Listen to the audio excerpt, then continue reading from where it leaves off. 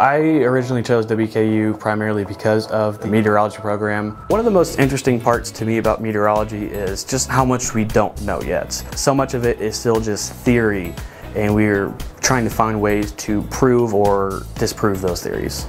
This degree is meant to challenge you, it's meant to make sure that this is really what you want to do and there have been countless times where I've even thought to myself, is this is this what I want to be doing? Is this worth it? And each time the answer has been yes.